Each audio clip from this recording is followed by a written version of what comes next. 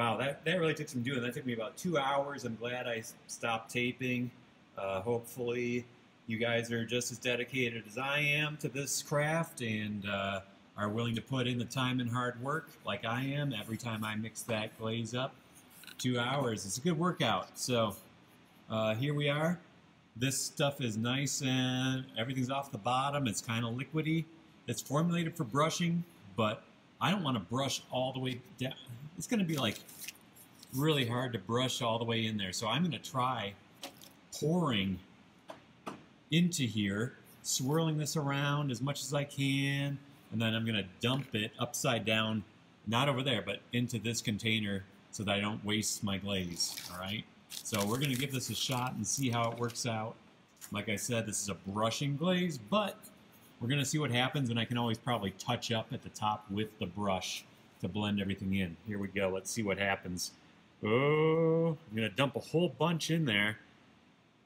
And if it's watertight, that's going to tell me this is all good. So it's all filled up. And I'm just going to dump it out and try and dump it, you know, everywhere I see bare clay on the inside.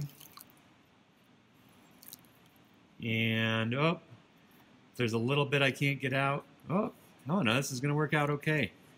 And this is a choice I can make. I can either, if I want it really clean, you see how I got some on the outside. And if I want a big contrast, I'm going to be able to wipe this off and then I can stain on the outside. So it doesn't really matter which one of these processes you do first, inside or outside.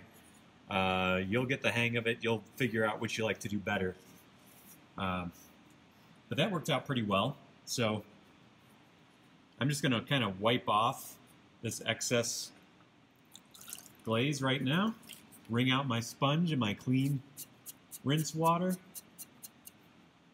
And just wipe that off the edge.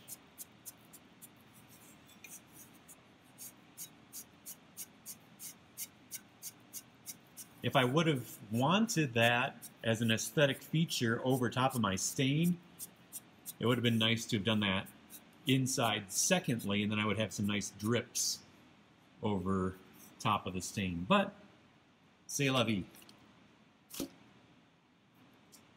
Now moving on to my stain, you can see that this is really separated out, okay? And I'm going to need to stir that up with my stirring utensil. One reason why I like to use the clear glaze first is if I get a little bit of that clear glaze into this wash, it's not going to make too much of a difference. But if I get the wash into the clear glaze, that clear glaze is not going to be clear anymore. It's going to be tainted. Uh, so this, if I'm working over a period of time, this, this stain, I need to probably keep a stirring utensil in there and every you know 10 minutes or so five every five minutes I probably need to give it a quick stir because this stuff settles out quickly. But unlike the the glaze it will mix in and you can look at the bottom if you have a clear container. It mixes in very very quickly uh, very easily. So that is the nice thing about it. The, the clear glaze this will stay suspended I don't know for how long. You'll have to check it, but it's going to stay suspended in that matrix for longer than the um, the wash.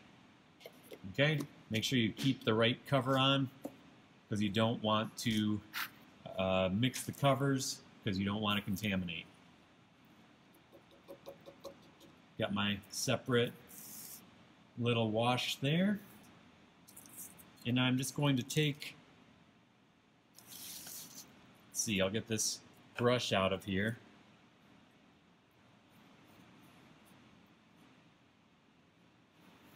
You see how liquidy that is? If I hold it over the container, it's going to really help things out. I'm just going to brush it.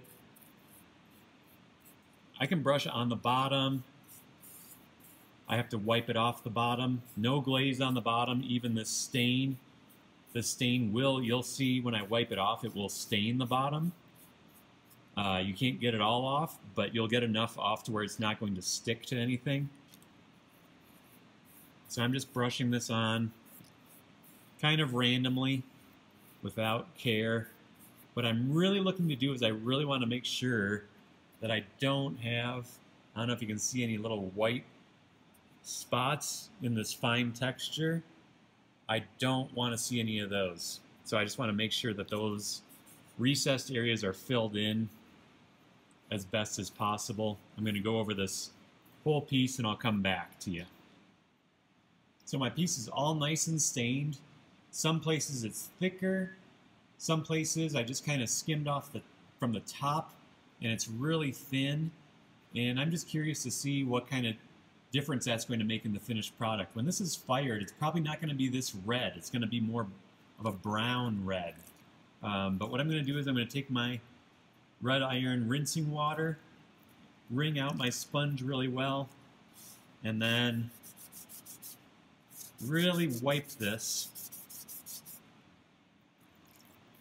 and keep on rinsing out my sponge.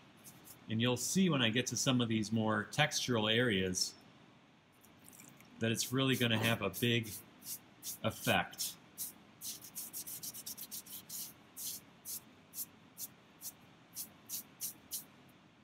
So you see how much you can see that texture now? It's really accentuating texture. And that's why I'm using this stain on the outside that's been textured prior to bisquing.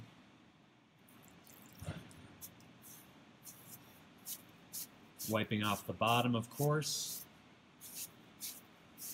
No stain, no glaze on the bottom.